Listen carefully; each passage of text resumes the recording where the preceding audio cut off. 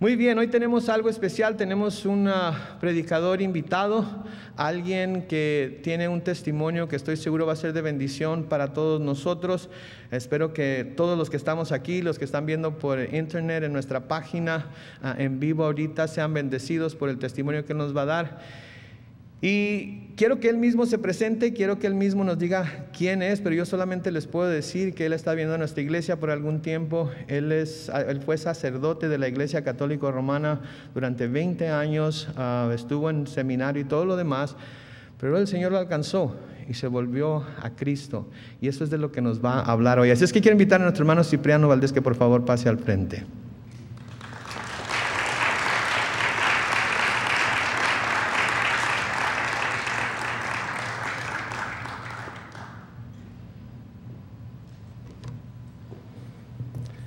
Hermano, Dios le bendiga. Gracias, pastor. Y adelante. Gracias. Señor les bendiga, hermanos. Gracias a Dios porque estamos en esta noche aquí. El pastor, su pastor de español, me dio el tiempo que yo utilice hablando a ustedes. Prediqué en una ocasión en una parte en el estado de Texas, en Houston, y había arriba de las dos mil personas en el templo. Y el pastor me dijo, tiene usted diez minutos le digo, bueno, me voy a parar y les voy a decir, el Señor les bendiga y me bajo. Pero cuando yo empecé a hablar, el pastor sube al púlpito y me dice, pastor, tome el tiempo que le parezca necesario a usted. Entonces le, dije, le dije al público, prepárense porque salimos a las dos de la mañana. Y en esta noche quiero decirles a ustedes, el Señor, el Señor salva. Él da vida eterna.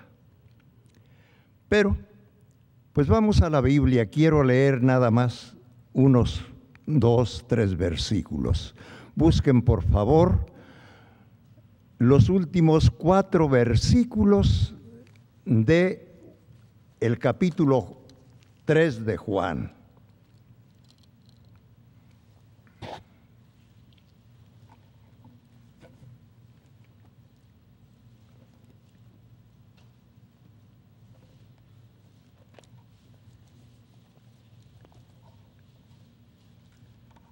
Amén.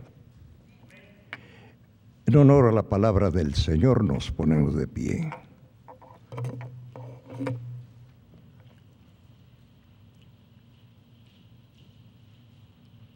El que de arriba viene es sobre todos. El que es de la tierra es terrenal. Y cosas terrenales habla. El que viene del cielo es sobre todos y lo que vino y lo, y lo que vio y oyó, esto testifica, y nadie recibe su testimonio. El que recibe su testimonio, este atestigua que Dios es veraz. Porque el que Dios envió, las palabras de Dios habla. Pues Dios no da el Espíritu por medida el Padre ama al Hijo y todas las cosas ha entregado en su mano. El que cree en el Hijo tiene vida eterna, pero el que rehúsa creer en el Hijo no verá la vida, sino que la ira de Dios está sobre él. Palabra de Dios. Sentaditos, queridos.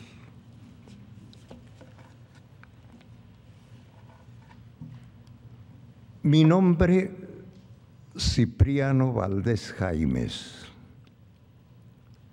Soy mexicano. Nací en el estado de Michoacán hace mucho tiempo. Creo que no hay persona aquí dentro del recinto que tenga mi edad. Tengo, si llego al 26 de este mes, voy a cumplir 89 años. Pero el Señor da la vida. Él le dice a Moisés, dile sal, dile al pueblo de Israel, Jehová es tu Dios y alargará tus días en la tierra donde Él te va a conducir. De tal manera que Él es el que nos da la vida y el que alarga nuestros días. Es una bendición vivir mucho y vivir bien. Y vivimos bien cuando estamos en la persona de Cristo. Vivimos bien cuando tenemos vida eterna. Hace, repito, mucho tiempo que yo fui niño como ustedes en otro tiempo también. Nací en el 26 del siglo pasado. Y a los 12 años me invitaron a un colegio católico, un seminario católico en el estado de Guerrero. Y aquí pasé encerrado 12 años. Después de haber terminado mi primaria en el pueblo donde crecí, en la tierra caliente del estado de Guerrero, fui al colegio. 12 años en, esta, en este lugar. Aquí me dieron el primer año de latín. Me dieron aquí la secundaria, la preparatoria que están encerrados en cinco años de latín que yo estudié. Aprendí latín, el latín de Cicerón, traduje, traduje discursos y cuántas cosas. Seminario menor. Entramos 84 a mi curso de primer año de latín. Y después de los cinco años de latín me dieron tres años de filosofía. Ya sumaron ocho. Y después me dieron cuatro años de teología. Y fueron doce años los que pasé encerrado.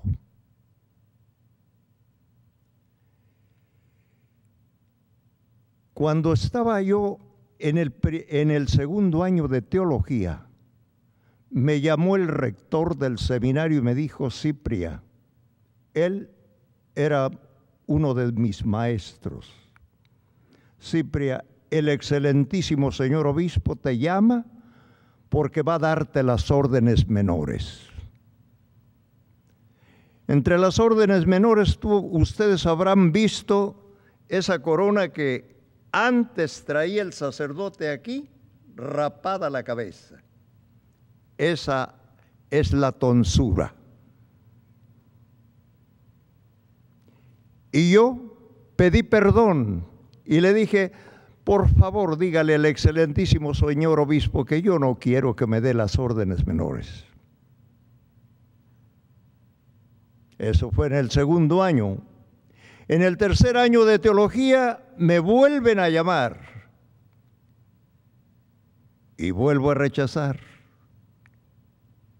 En el cuarto año de teología ya no pude hacer más. Entonces me dieron las órdenes menores, me dieron el subdiaconado, me dieron el diaconado y también en el último domingo de octubre me dieron el presbiterado. Fui ordenado sacerdote el 18 de octubre de 1951. De aquellos 84 muchachos que entramos al primer año de latín en 1939, en diciembre, solamente llegamos siete.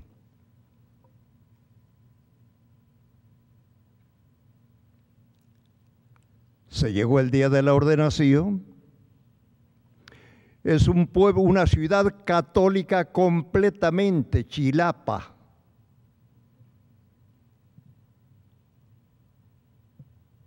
Todo mundo, aquí está llena esta ciudad de templos católicos. Y aquí, en uno de estos templos que se llama el Dulce Nombre de María, aquí fuimos ordenados. Veníamos en fila.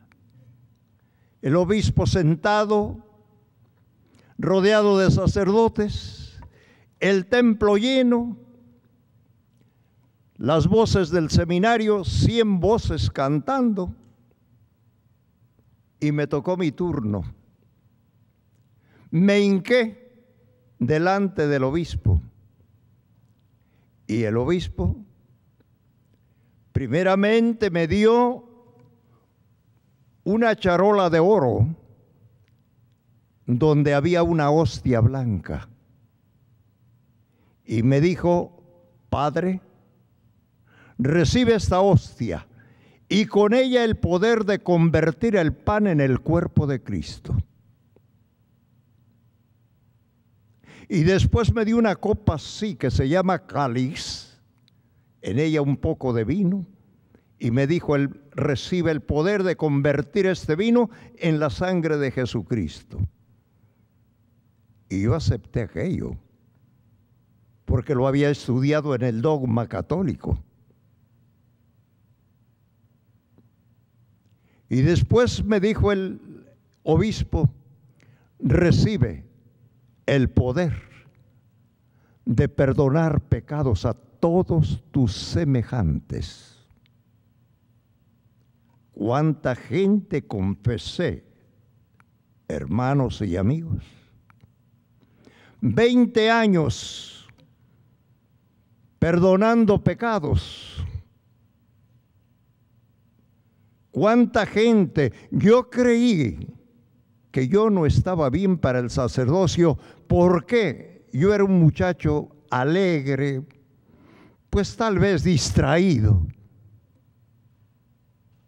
Y yo pensaba, yo no puedo entrar aquí como sacerdote porque ¿quién se va a querer confesar conmigo?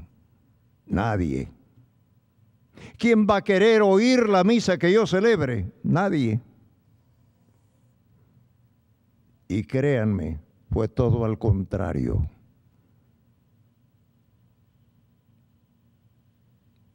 Fui párroco en distintas partes. En la Tierra Caliente fui párroco muy joven. Después de un año de ordenado, yo dirigí una parroquia. Después fui a la costa, dirigí otra parroquia y yo llenaba templos. En la costa es difícil hacer que vayan los hombres al templo. Y aquí yo hablé al Señor y hablé al Espíritu Santo y le dije, Señor, ayúdame para que esta gente venga al templo. Y una noche el Señor me dijo, haz una misa solamente para hombres. y los domingos hice una misa solamente para hombres a las 8 de la noche. No vengan damas, por favor. Esta es misa para los hombres nada más. Y empezaron a llegar los hombres hasta llenar el templo. Y el obispo me visitó y me dijo, ¿qué hizo? Le digo, nada. Pero ¿cómo es que vienen los hombres llenos hasta las puertas del templo? ¿Qué hizo? No, solamente puse una misa para hombres. Así me fue como sacerdote. Pero señores, yo quiero decirles esto. Aquello es una religión. Nosotros estamos no en una religión, sino en una comunión. El cristianismo es comunión. Religión es lo que el hombre ofrece a Dios. Comunión es lo que Dios quiere con el hombre. Y tenemos que procurar la comunión. Pero esa comunión íntima, tremenda. ¿Y qué hizo? Se llegó el tiempo en que yo tuve que salir de la iglesia. Confieso esto, no me echaron, salí porque me estaba esperando el Señor afuera.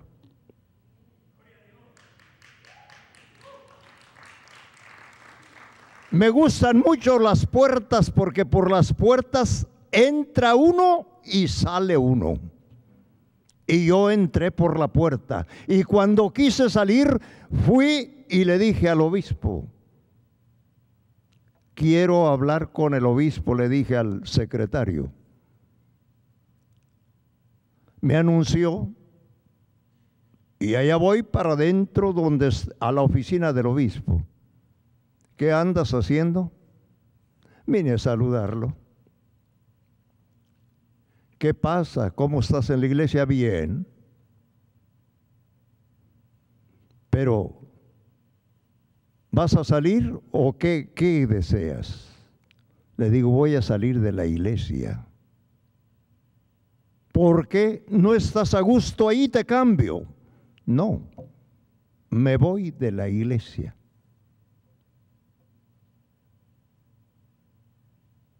¿Dónde vas? No sé. ¿Qué vas a hacer? No sé. ¿De qué te vas a mantener? No sé. Lo que sé es que me voy. El obispo, un hombre bueno, naturalmente bueno se levanta del escritorio, va a, un, va una cómoda, me trae por ahí unos blancos y los llené. ¿Qué era aquello? La solicitud de mi separación a Roma. Me voy porque no quiero estar aquí. Y salí de la iglesia católica así. No peleé con nadie Voy y saludo a todos. He hablado con sacerdotes al por mayor porque quisiera que uno se convirtiera al Señor para que continuara dando testimonio de lo que Dios puede hacer en el corazón del hombre, en la vida del hombre, cambiando al hombre, porque solamente Dios puede cambiarnos.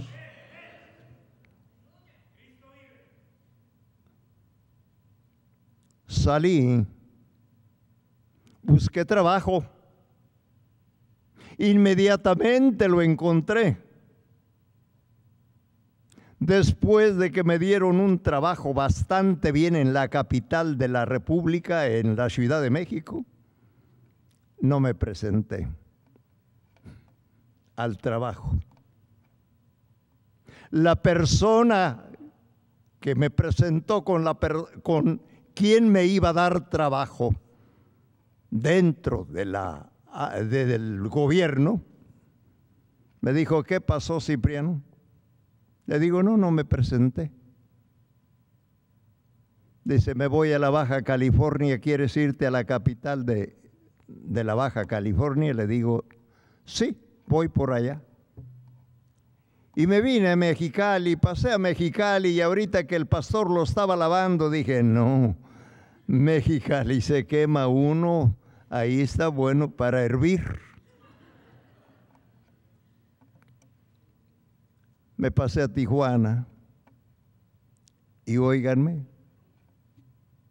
el Señor, después de tres días que estuve hospedado en un hotel, salí a la calle y el Señor tenía un misionero.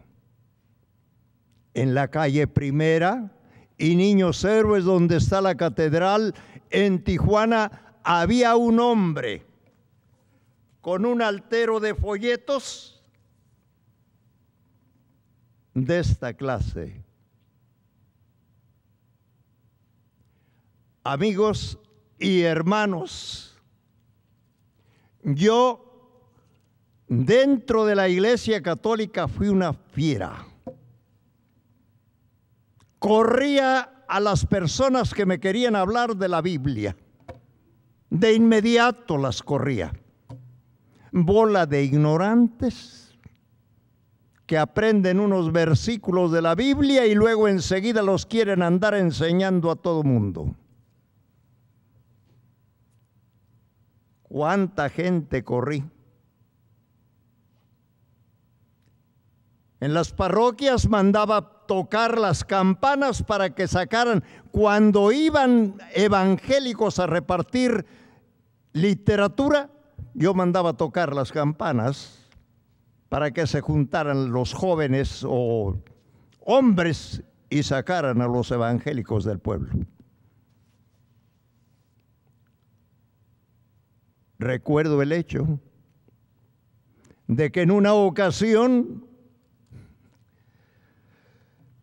recogí 66 Biblias a una señorita que vino a estudiar, que vino a trabajar a Texas y le tocó con una, con una familia cristiana y le enseñaron salvación, vida eterna y esta muchacha fue a su tierra y allá empezó a dar clases de Biblia.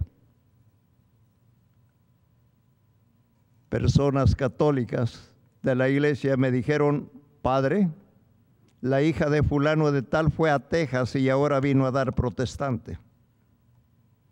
Cuando tenga culto me hablan ustedes y vamos a ir a verla. Prontito. Me fueron y fueron y me dijeron, allá ya está la muchacha dando clases de Biblia. Y allá voy me paro en medio del grupo que estaba ella eh, instruyendo en la Biblia. Y les digo, lo que va a pasar es que cuando ustedes me pidan una misa, yo no la celebro. Cuando me digan que venga a ver un enfermo, no vengo. Cuando ustedes quieran un bautismo, no lo hago. Cuando quieran una eh, algo para sus difuntos, tampoco lo hago. La pobre gente se espantó y empezó a entregar las Biblias. 66 Biblias que yo mismo despedacé y les metí fuego. En la tierra de mi esposa, antes de que yo llegara aquí, en ese pueblo habían quemado una camioneta, una avioneta de personas que iban a distribuir literatura cristiana. A otra la balacearon. Y después pasaban las avionetas tirando literatura sobre el pueblo. Tomaba yo el micrófono y me comunicaba con el pueblo y les decía, toda esa literatura todas esas Biblias, evangelios de San Juan, folletos y demás, tráiganlo porque no tienen el Niki Lobstad de la Iglesia Católica. no tienen el imprimatur de la Iglesia Católica y la pobre gente llegaba con los folletos y demás. Y yo a quemarlos. Los que saben a la Ciudad de México, en la calzada de Guadalupe hay muchos templos católicos, eh, muchos templos cristianos, para ir a donde está la Virgen de Guadalupe. Es la calzada de Guadalupe. Yo me metí aquí a retar a los pastores. Ahora me doy cuenta que los ujieres son los que están en la puerta y que están allá personas que están, eh, que están ayudando en el servicio del Señor. Y ellos salían a encontrarme para que yo entrara. Le digo, no, háblenmele al que está en el púlpito, con él quiero. Cuántas cosas indebidas hice. ¿Quién, quién oraría por mí? Yo no sé pero muchas personas debieron orar. Muchas personas pidieron que yo me convirtiera, porque yo estaba haciendo mal a muchas personas retirándolas de Cristo, impidiendo que se acercaran a Cristo. Pero el Señor me esperaba y para eso empezó a trabajar cuando yo todavía estaba en la parroquia. Ya no quería yo confesar personas. Tenía sacerdotes que me ayudaban en el desempeño del trabajo en la parroquia. Yo le decía a la secretaria, por favor, diles a esos a los padres que se sienten a confesar, por favor. Yo no quiero confesar a nadie. Ya no bautizaba yo niños. Me tocaba celebrar cuatro misas los domingos y le decía a la secretaria, distribuye las, distribuye las misas entre los padres, pero yo ya no quiero celebrar misa.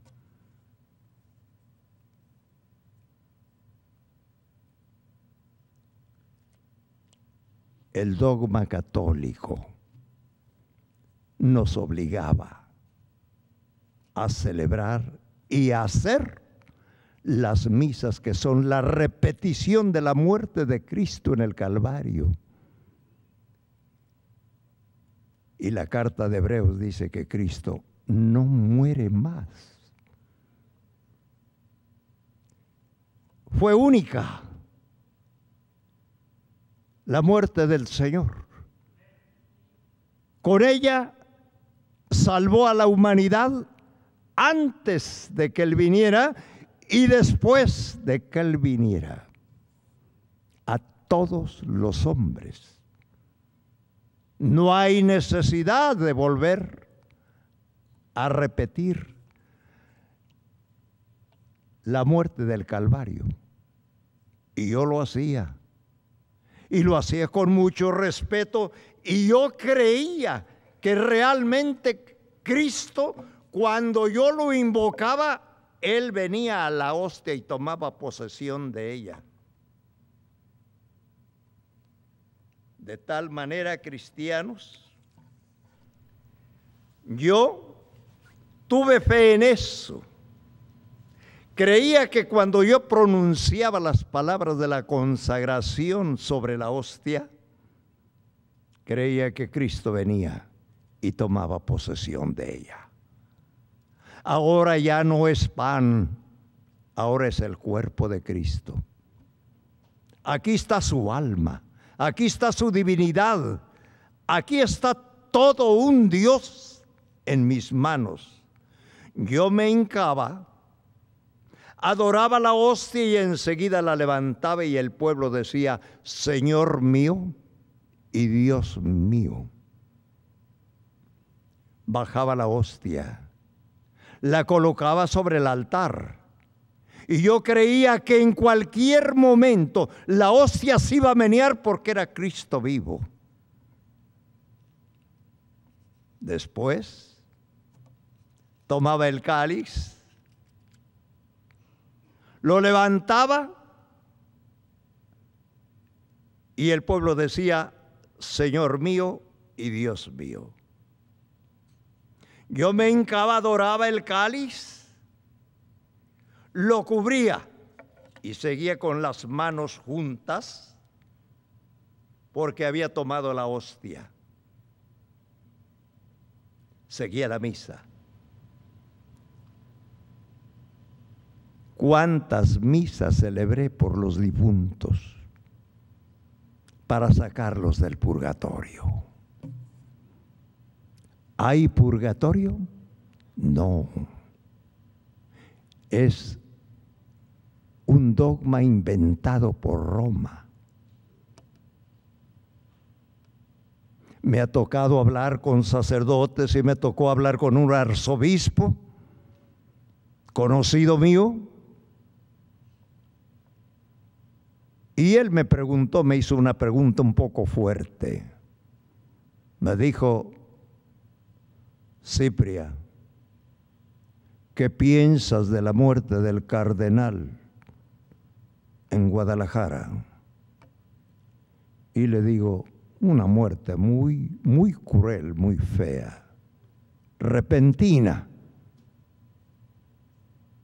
Pero voy a contestarte, Rafael, así se llamaba el arzobispo, voy a contestarte lo que le dije al, al abogado que está aquí con nosotros.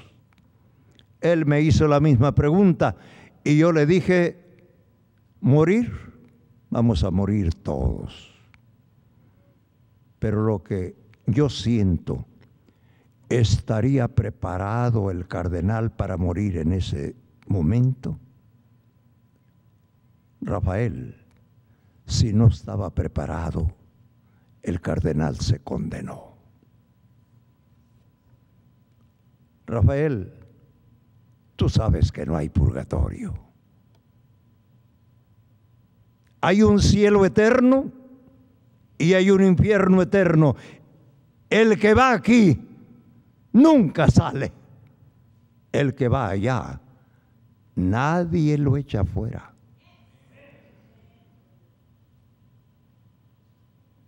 El arzobispo cayó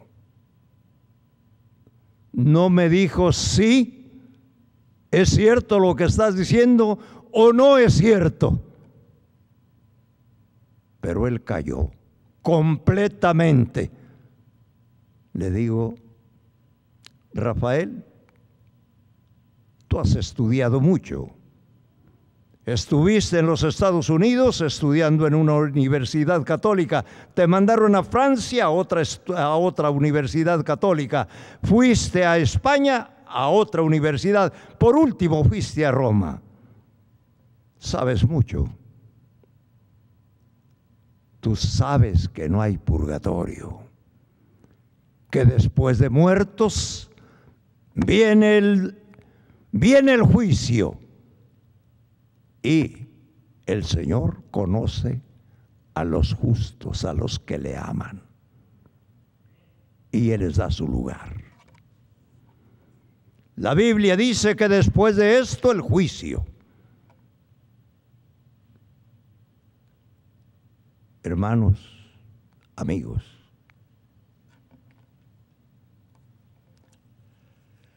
el Señor me esperaba en Tijuana. Vine a Tijuana buscando trabajo todavía y me dieron trabajo inmediatamente. La persona que me recomendaba era un contador público y él venía a la contabilidad al estado de Baja California. Me presenta con el señor gobernador de ese tiempo y el señor gobernador me da una tarjeta y le pone en la tarjeta, si no tienes trabajo para esta persona, invéntalo, fulano de tal. Me dio la tarjeta así y no me presenté a la Cruz Roja.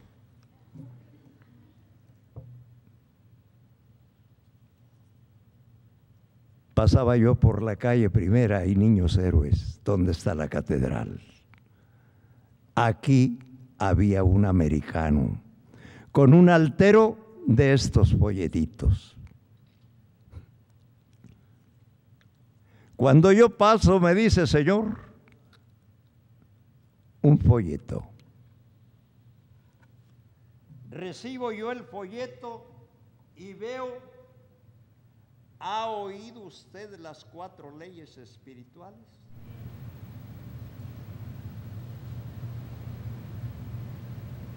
Dije, protestante.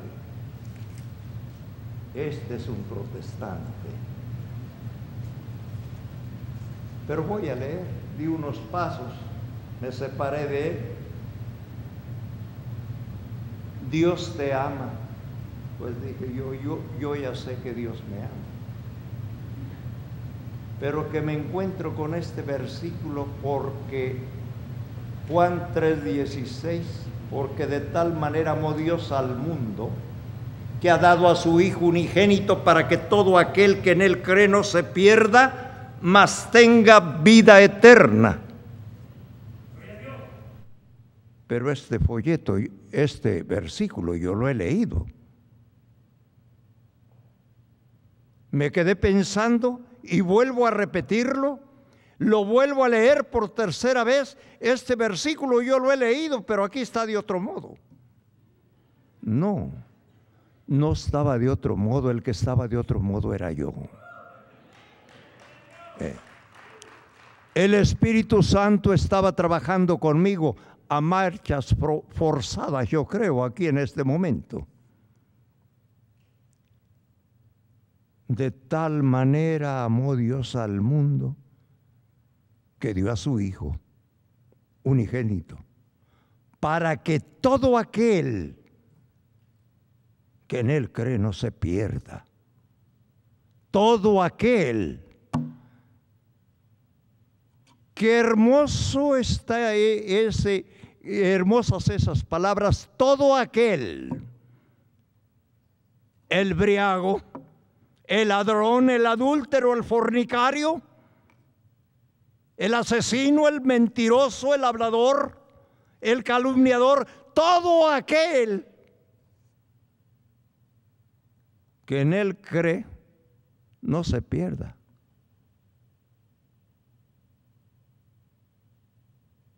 Entonces la salvación en cierta forma ya no estriba solamente en el poder de Dios, sino en la decisión de usted y mía.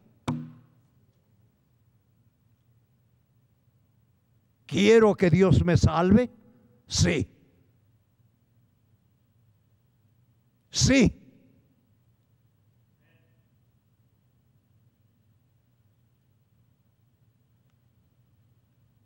Leí ese versículo. Dios tiene plan para mi vida, sí, tiene plan para mi vida. Él pensó y me hizo. Pensó y lo hizo a usted. Segunda ley, el hombre es pecador y está separado de Dios, sí, es cierto. El profeta Isaías dice que nuestros pecados han hecho pared entre nosotros y Dios.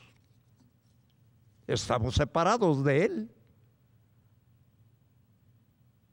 Y continúa, a los que creyeron, a los que le recibieron, les dio la potestad de ser hechos hijos de Dios. Si nosotros cristianos nos conociéramos, nunca le daríamos las espaldas a Dios, nunca nos negaríamos a dar el paso necesario para que Dios nos diera vida eterna.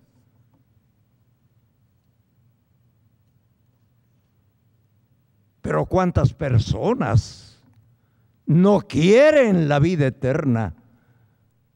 ¿Con cuántos he hablado yo? No sé.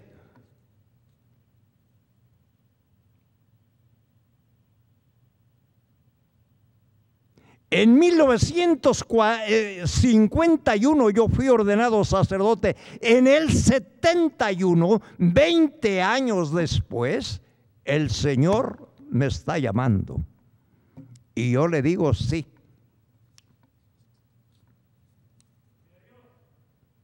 Y de 1971 a la fecha no me ha venido un pensamiento de volver a donde estaba. Quiero estar con el Señor y le digo, quiero irme contigo a donde tú quieres, a donde tú estás. No quiero ir a ningún otro lado, por favor. Tengo 43 años sirviendo al Señor con lo poco que puedo. He recorrido varios estados de aquí, de la Unión Americana.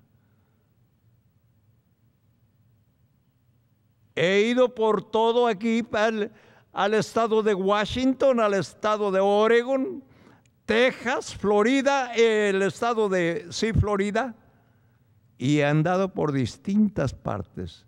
¿Cuántas gentes, criaturas, se han acercado a Cristo? pero ¿cuántos han rechazado? Una de las personas a quienes les hablé, señor Valdés, todo lo que dice usted es cierto, solamente que no quiero arrepentirme.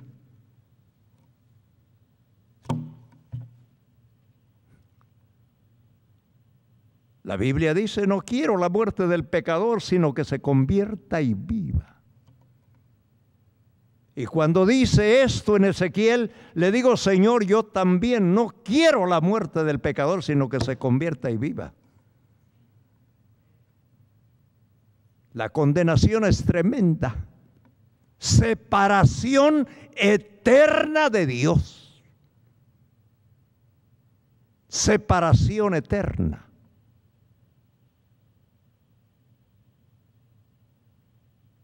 Hermanos, Amigos, yo no sé cuántos de ustedes hayan venido solamente por ver qué digo, pero no, no es esa mi finalidad. Mi finalidad es que ustedes en esta noche, ustedes se informen, ¿tengo vida eterna? Sí o no.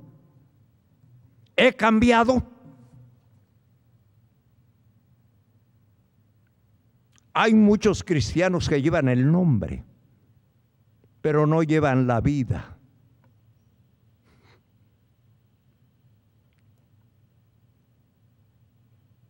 Yo tuve que dejar mucho. Dejé mi familia porque no querían que saliera. Dejé los pueblos que me sostenían. dejé compañeros, dejé superiores. ¿Y cuánta gente dejé? Y salí solo. Y dejé todo. No traje nada de la idolatría. Nada. Me vine así. Allá dejé la sotana, allá dejé los ornamentos, allá dejé el cáliz, allá dejé todo. No volví a confesar a nadie, no volví a celebrar una misa, no volví a nada de lo que yo practicaba antes.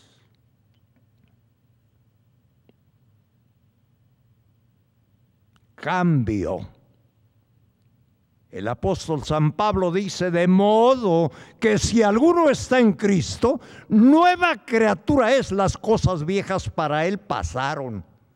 He aquí, todas son hechas nuevas. Hay personas que dicen, yo no más esto.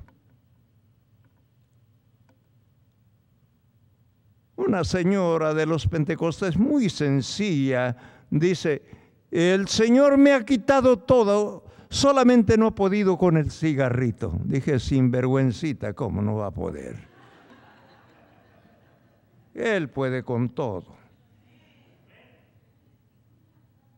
Y así nos pasa. Solamente el Señor no puede quitarme esto. Sí puede si tú lo obedeces.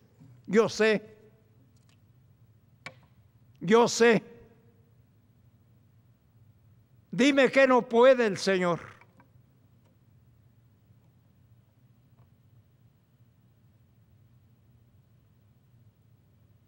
Tenemos que cambiar, queridos. Tenemos que cambiar.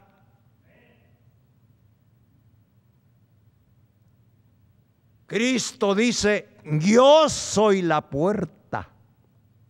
Yo soy el camino. Yo soy la verdad. Yo soy la vida. ¿Qué queremos? ¿Qué queremos? Sí. Y él dice, no se puede servir a dos señores. O estás con Cristo o estás sin Cristo.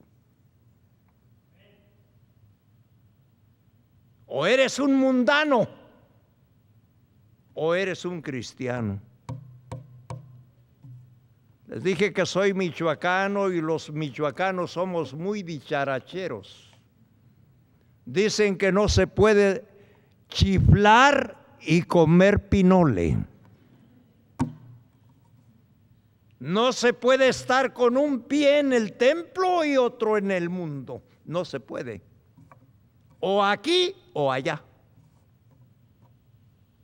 Y yo veo eso mucho, mucho, mucho. Hay veces que me vengo dolido en el alma hablo de una cosa y saliendo de la puerta del templo me encuentro con los con los hombres que están pensando en, en el partido de fútbol. En el box del sábado. No, no, al, al templo venimos a otra cosa.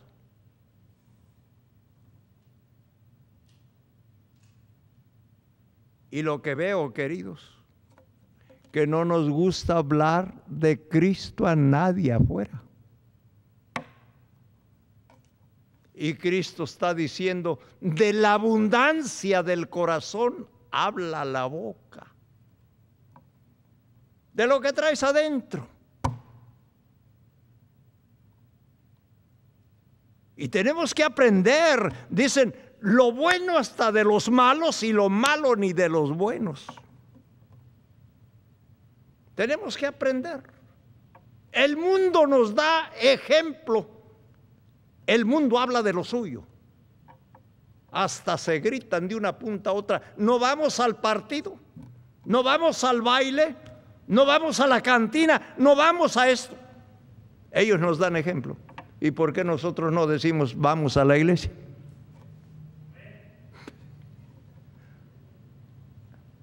No se apenen, ¿eh? que yo temblando estoy, porque los latinos decían poso en judicio. Dice, más después de esto, el juicio. Va a haber juicio. ¿Cómo nos vamos a presentar delante del Señor? Oh, y esto no es regaño, yo así hablo. ¿Eh? No, no se espanten. Esto no es regaño, ni puedo yo regañarlos a ustedes, nomás quiero que ustedes reflexionen un poquito, todos. Bueno, ustedes vinieron, los que no vinieron. ¿Eh? Pero vamos pensando, de veras, de veras. Hace una semana mi, mi esposa me, pues a mí me gusta que me manden, ¿eh? porque obedezco. Mi esposa me dijo, dice, ¿me traes por ahí una, de una tiendita por ahí? Yo que entro a la mentada tiendita y cuando me va diciendo un muchacho de los que me iban a atender ahí en la carnicería, Padre Cipriano, no, ¿qué? qué? Le digo, ¿qué? Padre Cipriano, no. Le digo, no, me estás confundiendo. Dice, yo conozco un señor, pero parecido a usted.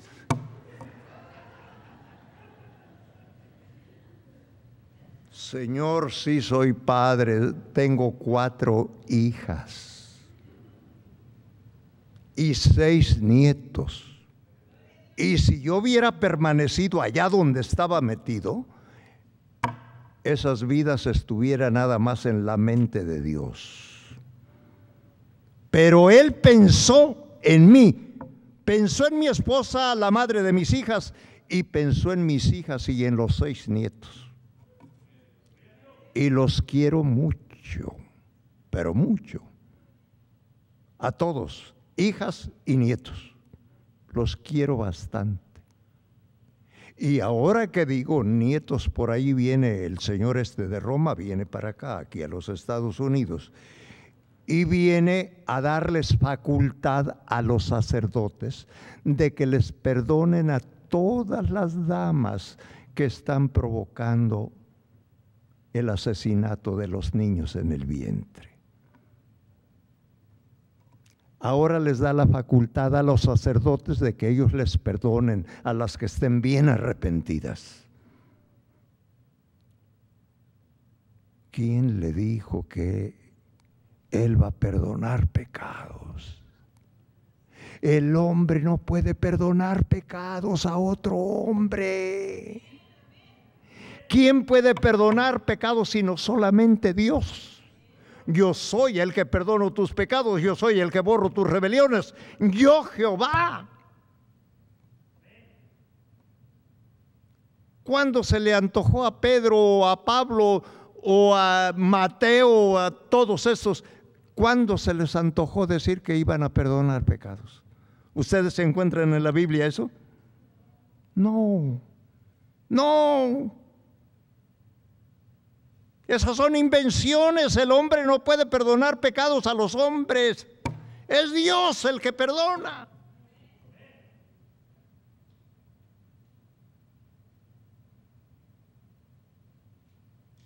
Es, es Dios el que salva.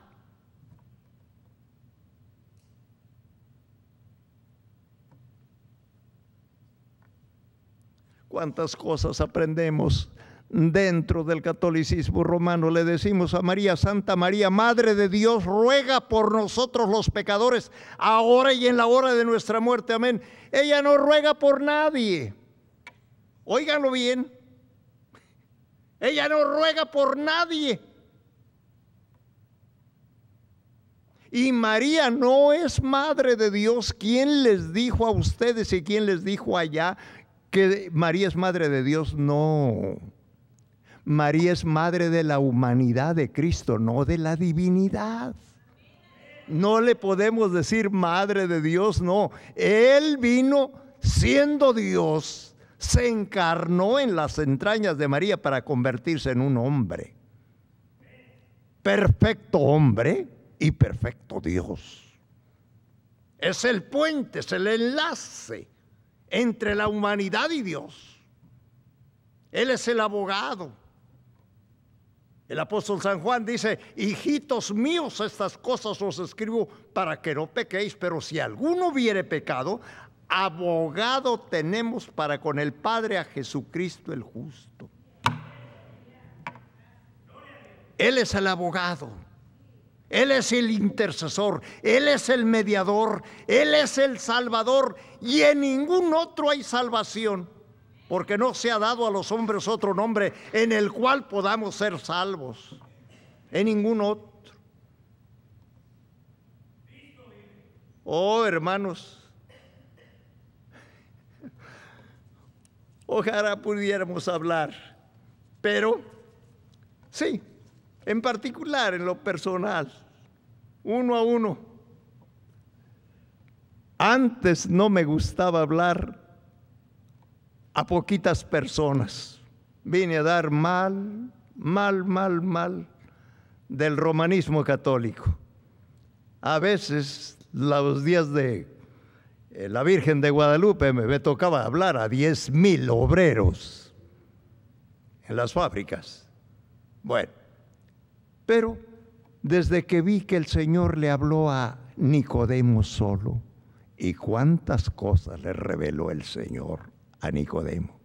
Y luego le habló la samaritana también. Y cuántas cosas le reveló a la samaritana, hablándole solamente a ella. Dice, Dios es espíritu. Y los que le adoran en espíritu y en verdad es necesario que le adoren, porque Dios tales adoradores busca que le adoren. Y, y cuántas cosas hermosas le reveló. Hermanos, amigos, si tienen alguna duda de lo que he dicho,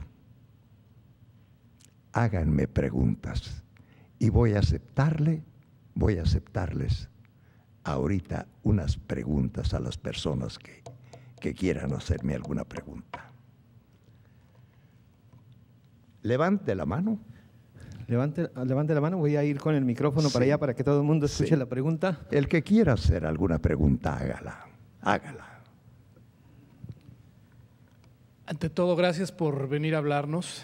Eh, es una presencia la suya muy especial, yo creo que para todos aquí. Yo nací en una familia católica y fui católico hasta que conocí a Cristo a los 28. Ahorita tengo 51. Amén. Y, recuerdo mucho mi infancia. Mi, padre era de Michoacán también, católico, pero él siempre era una de las personas que veían a Jesús, a Dios en la, en la creación, lo que dice Romanos, que Dios está visible a todos nosotros a través de las cosas creadas. Pero mi pregunta es esta, estoy pensando en amigos muy queridos con los que crecí, hermanos casi, que son católicos y sus esposas católicas de hueso colorado, con los que es muy difícil hablar de esto que usted nos está hablando. Y me pregunto, usted que ha estado de los dos lados, que tiene esa autoridad espiritual, no por haber sido padre, sino la misma que tenemos nosotros, que, nos, que viene de Dios, no viene de nosotros, viene de Dios. ¿Cuál es una forma, cuál es la forma de acercarnos o cuál es la forma de traer a esas personas tan amadas a Cristo? Obviamente tenemos que hablar, si no hablamos, ¿verdad? Pero a lo mejor no tenemos que hablar porque hay una barrera tremenda entre el católico y nosotros. Y nosotros. Entonces, eh, yo ahorita lo escucharlo, me vienen deseos de orar por ellos y sus esposas, ¿no? Que son las que los separan tal vez. Eh, ¿qué, nos dice al respecto? Bueno, a ellos tenemos que, en primer lugar, decirles, yo te amo, pero Dios te ama a ti. El amor de Dios es infinito. Y Dios no quiere que tú te pierdas. Y lo que practicas te lleva a la perdición. Estás perdido.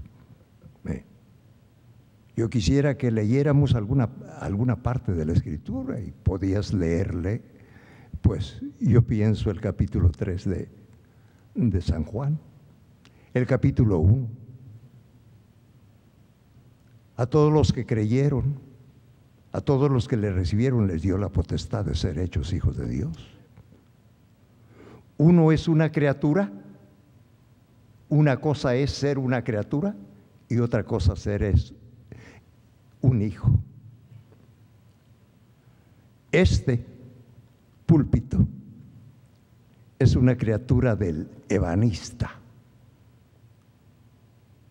Este púlpito se vende y se lo trae, se lo traen los diáconos aquí al servicio de la de la iglesia. Pero un hijo no se vende. Un hijo es algo especial. Un hijo es heredero.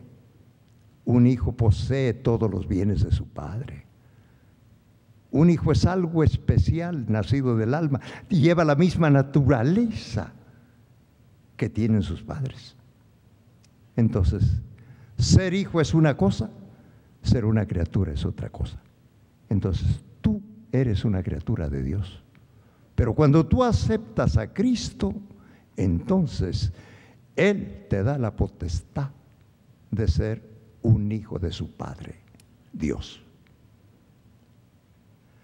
Podemos entrar en distintas formas. Yo, yo ahora antes sentía difícil, pero yo empecé a distribuir, a distribuir folletos y empecé a hablar. De tal manera que en Tijuana, yo me convertí en Tijuana en la calle primera y Niños Héroes, y entonces yo empecé a distribuir literatura. Me subí, subí en los camiones, iba por todo el Boulevard Agua Caliente. Donde se paraba el camión, allá me bajaba y me venía con el otro camión distribuyendo los folletos ahí. Tenemos que trabajar. Tenemos que servirle al Señor. ¿eh? Sí. Entonces se puede así. ¿eh? Ahora hablo de salvación a personas en distintas formas y se han acercado muchos. Mucha gente se ha salvado. Gracias al Señor. Gloria a Dios. Otra ¿Alguien- persona. alguien- otra persona para Sí, aquí. Aquí enfrente tenemos una. ¿Qué tal? Buenas noches. Eh, Sí. Mi nombre es Gloria, yo vengo del estado de Sinaloa, de una familia, ambas religiones, ¿no? Eh, del catolicismo, bien fuerte, bien arraigado, y del cristianismo. Del lado de mi madre era el cristianismo y del lado de mi padre el catolicismo, ¿no? Catolicismo. Pues yo fui bautizada en el, en el catolicismo. Sí. Pero bueno, hay, hay- hay bastante confusión. Cuando uno es niño, sí se confunde. Para mí fue una época, ok, pues para dónde voy. En los domingos me subía al púlpito, tocaba el pandero y en las noches rezaba el Padre Nuestro, ¿no? Ujú. Y la verdad que, pues yo ahora doy gracias a Dios porque finalmente yo, para todos aquellos que, que están en esta situación, que, que a lo mejor digo yo, pues Dios nos muestra el camino, finalmente yo vine, a, yo fui bautizada aquí en la iglesia, Amén. gracias a Dios, Sí, cuando fui llamada hace tres años. sí. Pero mi pregunta es ahora, tengo un esposo católico, Ujú. filosofía, estudió filosofía, es científico, doctor, médico, muy reconocido. ¿Y cómo puedo hacer yo como esposa? Pues no yo, pues cómo puedo ahora sí que él no rechace la religión, porque él dice, como usted dice, allá en Roma es, y dice la grosería, es puro esto. Y yo no creo en eso y no creo en las religiones. Pero bueno, llevo ya bastante en esto y es una lucha ahora, porque yo vengo a la iglesia, porque ahora yo, sí me dice, si tú no eres mala, ¿por qué vas a la iglesia? Y le digo yo, es que es un llamado de Dios, el ir a la iglesia, el bautismo es un llamado de Dios, solamente fui obediente. Entonces mi pregunta es, ¿qué puedo hacer con mi esposo? ¿Usted casó con él Sí, ya siendo usted cristiana? no, No, no. también era católica. En el tiempo que casó con él, sí. católica Sí, también. sí. Bueno. Bueno, busque literatura Gracias. cristiana y póngala entre, el- entre los libros de él. Si usted no puede hablarle directamente, ¿verdad? Una señora en Texas me dijo, ¿qué hago? Yo estoy casada con un hombre, con un hombre que, un español, dice que fue sacerdote católico y ahora es maestro en la universidad de aquí de Chihuahua. Bueno, dice, ¿qué hago con él? Le digo, póngale literatura cristiana en medio de los libros que lee. Si no le puede hablar, dice, no le puedo hablar porque es una fiera. ¿Eh? Entonces, le digo, póngale un, póngale un folleto de salvación en medio del- de los libros. Y cuando llegue a hacerle alguna pregunta, usted contéstele bíblicamente. ¿eh? Y yo le digo a usted, si no puede hablarle a él, entonces póngale un folleto dentro de los libros que él estudia. ¿Eh? Gloria a Dios. ¿Alguien más? ¿Alguien más? Un par de preguntas más. Por allá tenemos una persona. Ahorita voy para allá.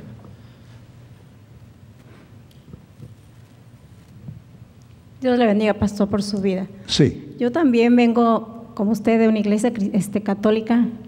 Yo tuve muchos cargos en la iglesia. sí, Era líder de todo. Era cucaracha de la iglesia. sí, Cuando el Señor me alcanzó este, allá en el, en el Salto Jalisco, sí. fue a través de la alabanza. ¿A través de? ah, De la alabanza. ¿De la alabanza? Sí, este, yo escuché la alabanza allá y, y me llenó mi corazón. Tengo ocho años, tengo 15 años en el Evangelio Sí, y este, me aparté poquito sí. muchas cosas. Volví, este, vine, me vine a Tijuana como usted, Tijuana, le digo Tijuanita hermosa, yo la amo mucho Sí, porque es una tierra de bendición, aunque digan lo contrario donde quiera, pero Sí. es una tierra de bendición que nos bendice a todos los que venimos. Mi pregunta es esta. Este, yo estoy siguiendo el camino del Señor, tengo la mitad de mi familia, mi esposo se apartó por muchas cosas. Me encuentro a mi hermana aquí en, en San Fernando y me dijo una cosa que me dolió mucho y que no le pude contestar. Y esa es mi pregunta. Me dijo, hipócrita, tú serviste a Dios en nuestra iglesia, en donde nos enseñaron. Tú le diste, dice, tú le diste la, ¿cómo me dijo? Tú le, das- le diste la carne al diablo y ahora le das los huesos a Dios. Y a mí me dolió mucho eso, no supe qué contestarle. ¿Sí me explico? Eh, ella es católica. Sí. ¿Usted, ahora cristiana, cuántos años de- lleva dentro del Ocho cristianismo? años. ¿Cuántos? Ocho. ¿Ocho? Y yo me duele mucho en mi corazón porque todo he tenido este, respuestas, he tenido muchos liderazgos en la iglesia, pero eso me lastimó mucho. Porque yo no le, yo no, yo no le, doy la, no le di la carne al mundo, yo le doy los huesos a Dios. No, no, señora. No, no, no, no, no, no. Póngase en calma y usted háblele bíblicamente. Ella es bien católica, católica, Sí, que me sí. lastima muy mucho. El, el católico, pues, no lee la Biblia, hermana. Él no lee la Biblia, no sabe de Biblia, ¿verdad? Este, necesitamos hablarle acerca del amor de Dios para con Él. Busque un texto en Romanos. Pero los que viven según la carne, dice Romanos 8:8, dice, pero los que viven según la carne no pueden agradar a Dios. Hermana, tú no estás agradando a Dios. Estás viviendo según tu capricho y tu humanidad. Pero usted puede darle un folleto también, busque un folleto de vida para vida eterna, de salvación, y póngaselo por ahí cerca. ¿eh? Haga eso, haga eso y cuidado con eso que a mí me han soltado, pero de, de distintas, de distintas maneras. Han tratado de insultarme, pero no me insultan.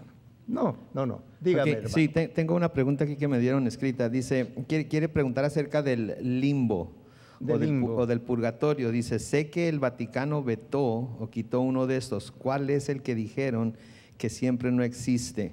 ¿El limbo o el purgatorio? El limbo. Yo quisiera que quitaran el purgatorio, porque se equivocan, se equivocan mucho las gentes. Hay personas que dejan fortunas para que sus parientes les estén mandando celebrar misa todos los días, todos los días, misa por él, misa por él, para sacarlos del purgatorio.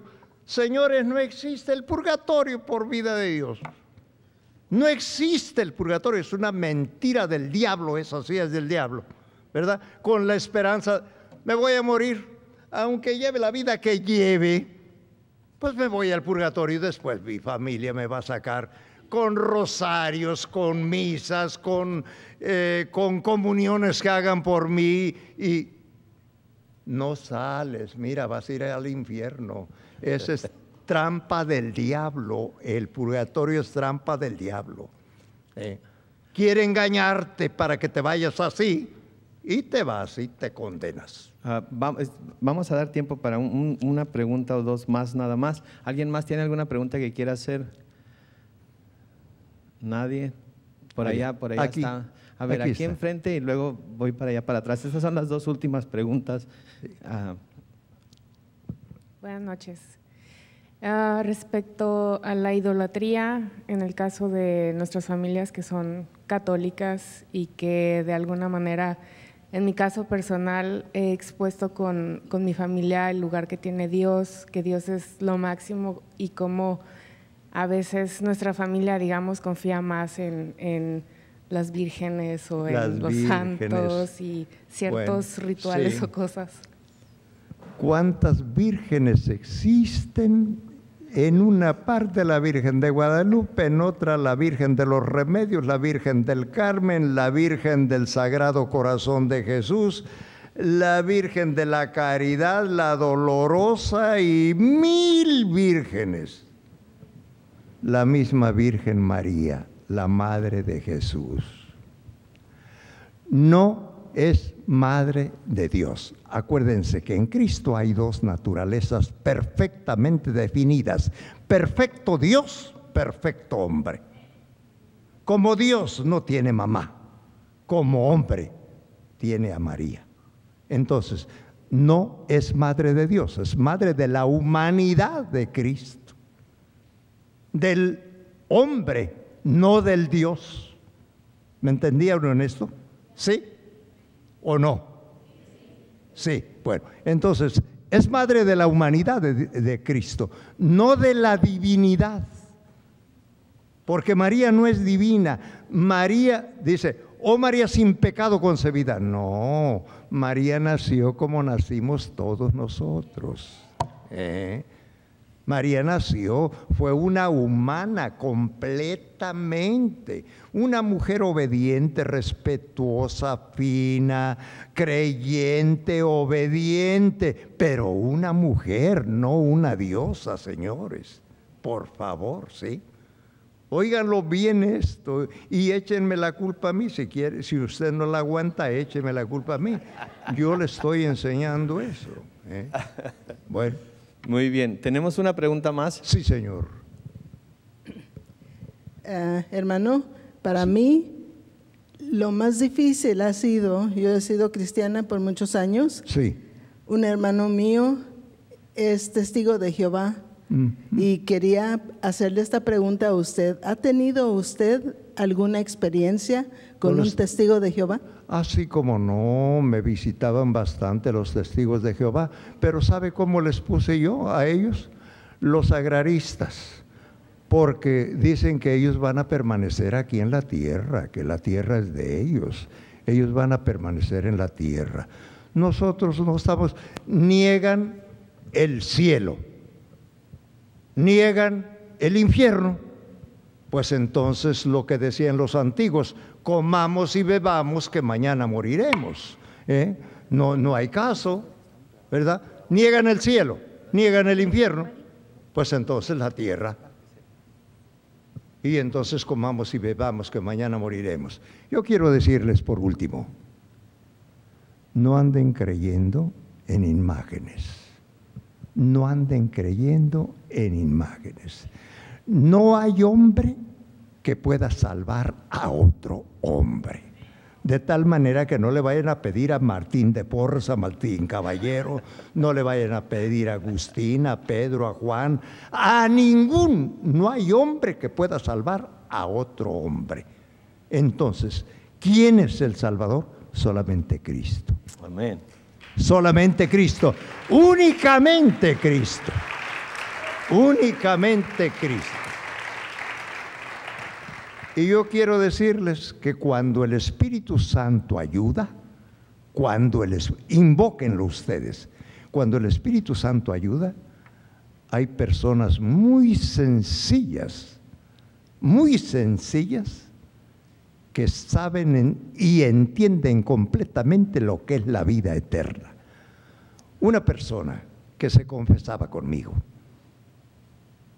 allá en la costa, vino aquí a Tijuana y esa persona, le hablé yo, llegó a la casa y, y este, estuvo con nosotros ahí unos días. Le hablé de la salvación de vida eterna.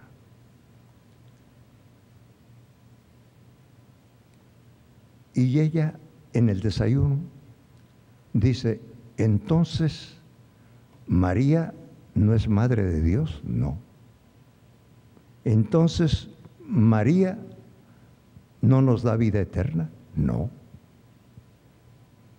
Entonces, ¿no le puedo pedir a ella? No. Y a San Juan tampoco. Y a la Virgen del Carmen tampoco.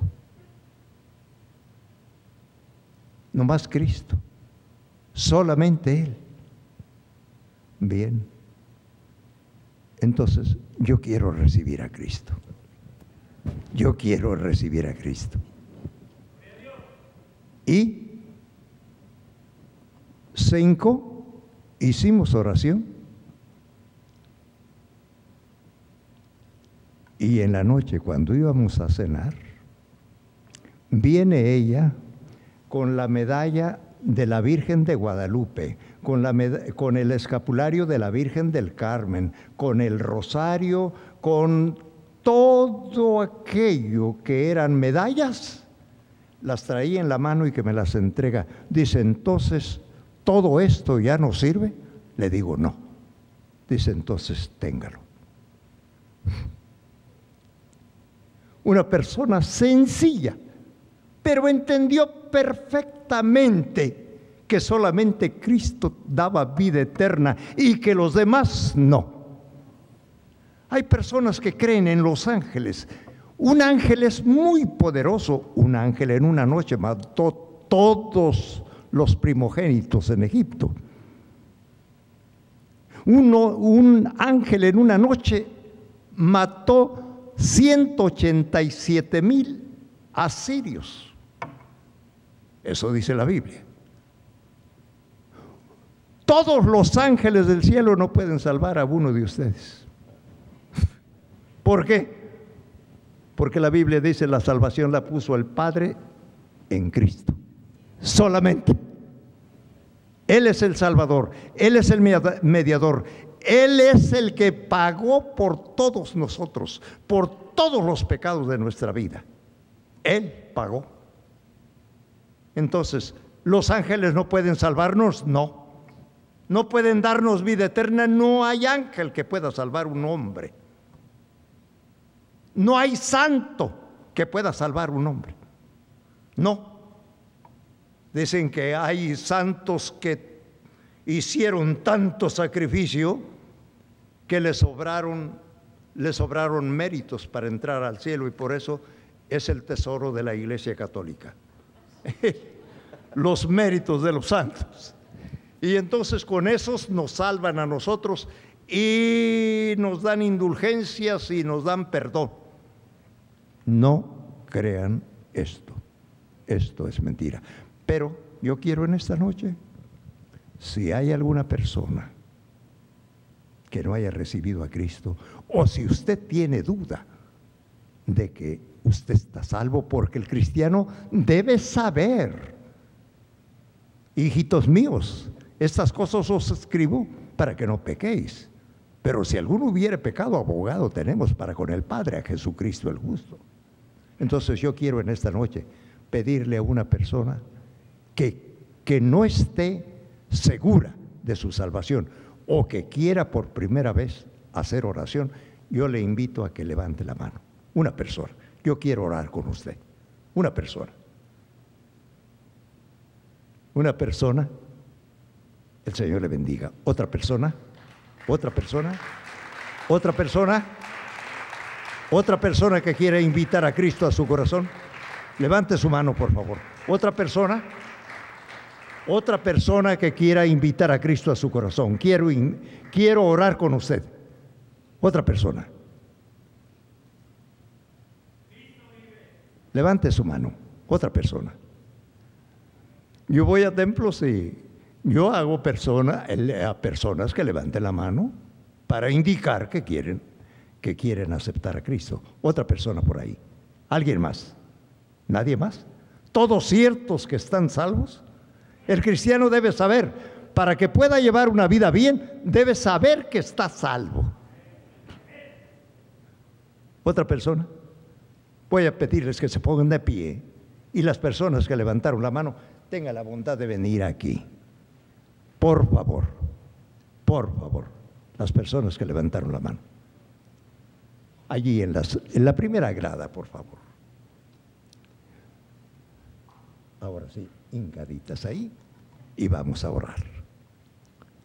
Señor, en voz alta ustedes, Señor, gracias te doy por haberme llamado en esta hora.